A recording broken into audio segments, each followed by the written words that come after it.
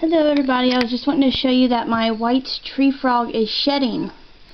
I didn't know what was going on with her and then I remember that they shed like that. If you see on the side of her mouth that slime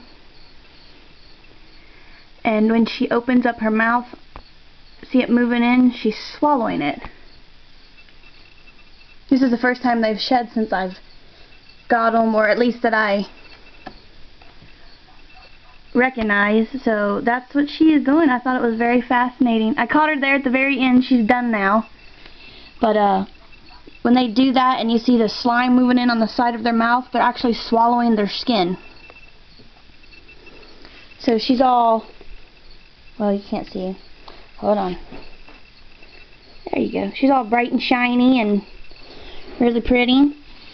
But uh, I thought that was very fascinating to see. I actually haven't seen it so far yet. I've seen one video on it, but uh, it was pretty cool. So I went and got my camera real quick so I could show everybody. But uh, yeah, that's how they shed. So nothing's really wrong with them. I mean, she didn't eat anything, so she couldn't have been choking, but that's what it looked like. And I looked on the side of her mouth, and she's finishing swallowing. So I thought that was pretty cool. But uh, yeah, that's so that's how they shed. So if you got any questions or comments, post below. So thanks for watching.